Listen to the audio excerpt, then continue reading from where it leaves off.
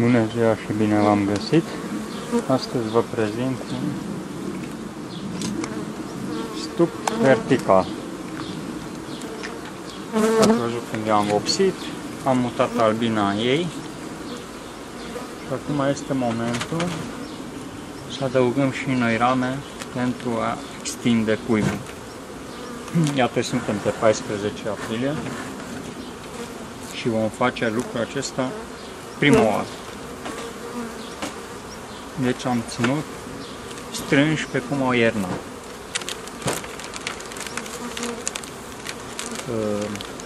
Cred cum vedeți, este primul film în care prezint un alt model de stup față de cum erați obișnuit. La noi aici în Ardeal nu este ca în sudul țării, probabil avem o lună în întârziere față de cei din sud. Abia am florit pomul, rapița abia înflorește, dar n-am avut uh, familii de producție, cum spun unii. Eu am înmulțit excesiv și în acest uh, lucru nu poți avea și familii de producție.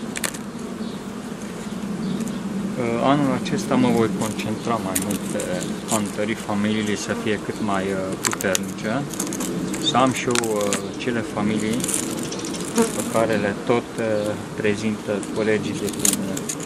Ele măturând cuibul din stânga în dreapta, acest lucru nu se face, chiar dacă sunt apicultori cu experiență, să măture cuibul dintr-o parte într-alta nu are niciun sens.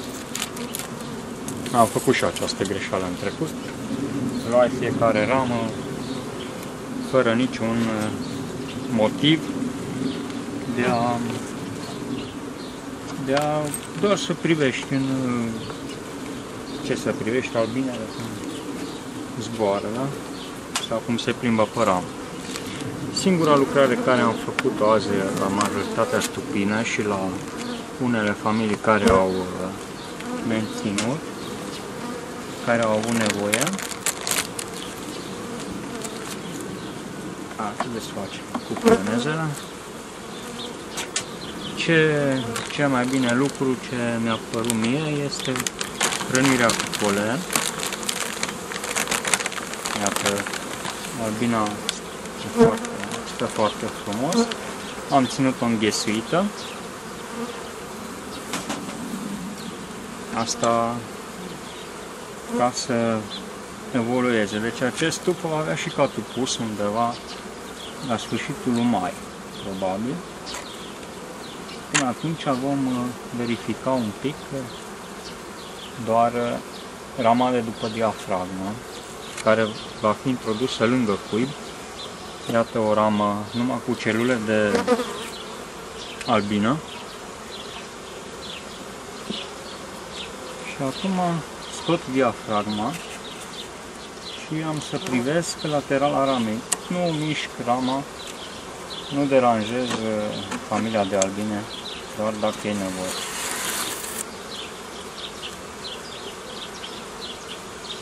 E posibil să nu fie nevoie de extindere.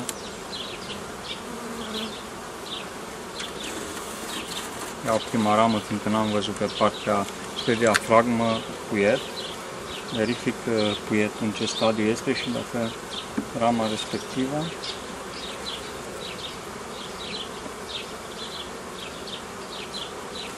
E blocată și dacă chiar necesită să pun una în lateral sau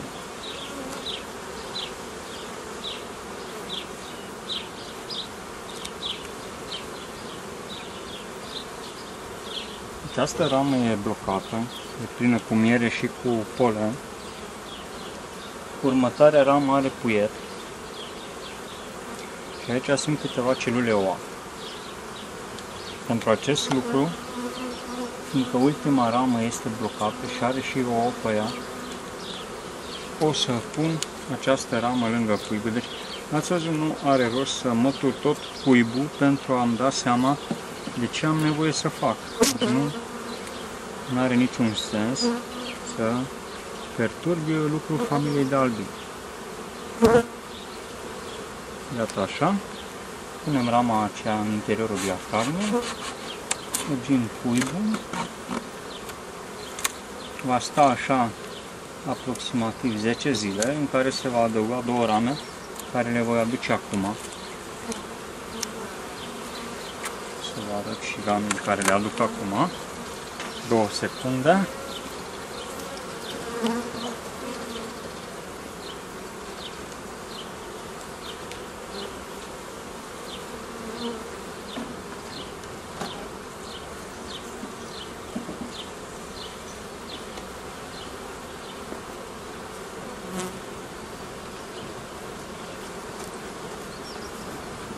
Iată, am adus uh, aceste două rame.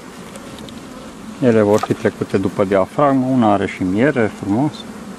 Una e mai neagră și una e mai roziaș.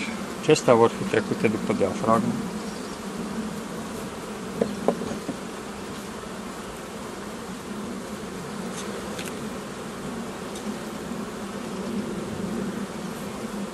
Deci atâta a fost tatăl lucru la această roișor, la cum se vede, ea va deveni familie și va avea și cat, vă spun, la sfârșitul lunii mai. Vom vedea la momentul respectiv. Matcou foarte bine, am văzut că din lateral, n-a trebuit să scot rama. N-am măturat cuibul doar de dragul filmării, nu este nevoie acest lucru. Voi care urmăriți uh, filmele, mă veți lua exact după ce, ce vedeți că fac mari apicultori care ia rama doar să vă arate ce concentrație de puietare. Asta știm deja fiecare, chiar și începătorii știm că avem uh, puiet, rame, fără a scoate rama din cuib, doar de dragul a urmări ce este acolo. Cam atâta am de filmat la acest tip vertical. Acum adaug aceste polistiren și adaug ultimul sirop care îl dau chiar dacă sunt pomi înflorit. Nu o să scoată nimeni miere de la pom. Tot ce se adună până se umple cuibul rămâne pentru albine. Nu scoate miere de pe ramele de la din patul de jos, cum ar veni. Voi folosi caturi 1 pe 2. Voi lucra în paralel și cu stupii verticali și cu cei ursu. Deci, așa v-am arătat această amnestia, să vedeți cum pun și sirop.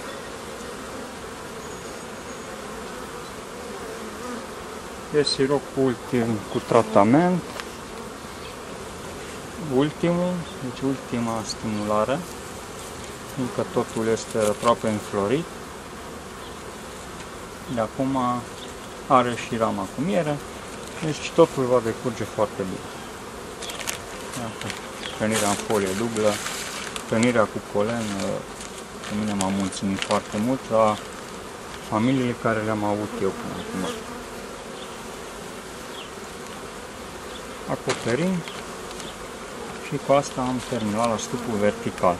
Deci cam atâta trebuie să faceți cei care aveți astfel de roișori, nu familii ca cei care pun deja catului pe ele, fiindcă nu am așa ceva încă, dar peste o lună veți vedea și la mine astfel de familii care vor fi gata pentru salcâm, nu pentru rapiță și pentru păpădie. Bine, mai filmez în confirm să vă arăt și 3 în 1, exact același lucru se face.